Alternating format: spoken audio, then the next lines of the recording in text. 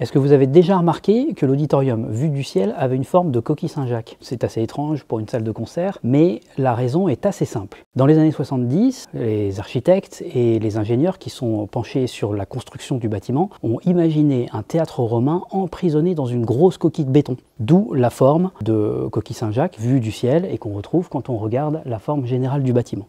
Le toit du bâtiment en béton mesure 4000 m2 et n'est soutenu par aucun pilier. La surface du toit, avec les petites pliures, fait 4000 m2. Et si on les déplie complètement, on a 6000 m2 d'un immense voile de béton qui recouvre le bâtiment, qui ne fait que 5 à 10 cm d'épaisseur, et qui supporte l'intégralité de toutes les machineries et toutes les passerelles techniques au-dessus des 2200 places que contiennent la salle. Au final, l'auditorium est beaucoup plus une prouesse d'ingénierie technique qu'une prouesse d'architecte.